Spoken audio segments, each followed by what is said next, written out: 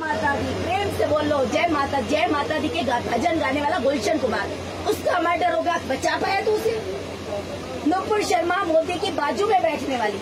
नुपुर शर्मा ने सिर्फ़ और सिर्फ़ कुरान के ऊपर एक लाइन बोली, हज़ारों के भारत में गले कट गए, कन्हैया हत्याकांड याद होगा तुम लोगों को, सारी ट्रेन को बता रही हूँ।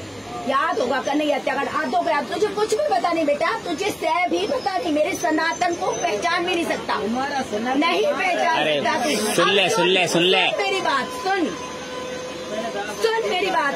गुलशन ग्रोवर गुलशन कुमार नाम जानता है जय माता दी। अपनी माता जी से पूछ लेना जिसने माता की भक्ति लहरा दी थी पूरे भारत में। उसका मर्डर कर दिया गया। अनुराधा पौडवाल, जिसने भारत में सनातन संस्कृति के भजनों का आशिक बना दिया था लोगों को। लोग माता के भक्त बन गए थे। अनुराधा पौडवाल को धमकी दे दी गई। धमकी दे के मौन करवा दिया गया। राजीव दीक्षित का मर्डर करवा दिया गया। उस देश में तू जी रहा है जहाँ सनातनी सनातन का वर्ग करने से कांपते हैं।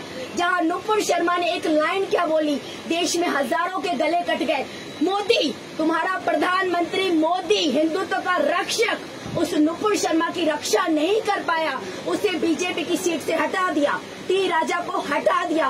उस भारत में तुम बैठे हो, जहाँ मोदी अपनी बाजू बैठी हुई नुपुर शर्मा की रक्षा नहीं कर सकता तो हमें जागना पड़ेगा। हमें खुद हमारी रक्षा करनी पड़ेगी। जय श्री राम आशाराम बापू, वो महापुरुष है, जिन्होंने 10 करोड़ लोगों से शराब, बीड़ी, गुटखा, पान मसाला छुड़वाया, जिन्होंने लव जिहाद, आज नहीं, तेरे जितनी उम्र के थे ना तब लोगों को जगा दिया था कि लव जिहाद का कैसा जहर फैल रहा है। भारत की बेटियों को बचाओ घर घर में बाल संस्कार खोलो छोटे छोटे बच्चों को सनातन की जानकारी दो।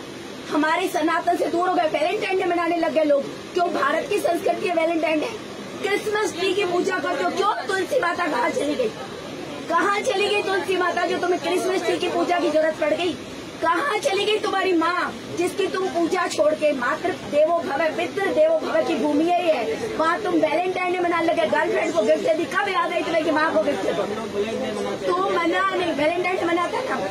तो फिर तू भले अब मना दे कब कितनी उम्र का है अभी सीखा होगा ना?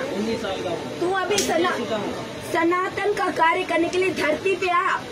चार साल काम कर जेल में बैठा होगा तू भी। यहाँ सनातन का काम करना बड़ा कठिन हो चुका है। जिन्होंने भी किया ना उनके साथ आरोप और कुप्रचार। जय श्री राम। अब तुम बोलते रहो।